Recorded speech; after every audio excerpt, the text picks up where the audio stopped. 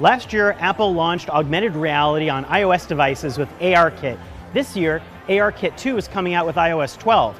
What's the big difference? Multiplayer. Now you can have all sorts of shared experiences between devices that can either be local or in the cloud. Google did something like this with something called Cloud Anchors at Google I/O, and that can work between Android and iOS. That's cloud-based. Here you don't have to make a cloud-based.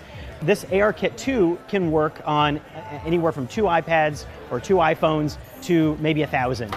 And this particular software that we tried on these tables was a slingshot game called SwiftShot that's um, test code and allowed us to play some sort of crazy slingshot game on these tables which are empty. But if you hold the iPad up, hey, it's a whole bunch of blocks that we're able to use. And Vanessa and I were able to launch balls back and forth, and we both saw the exact same game board from different perspectives.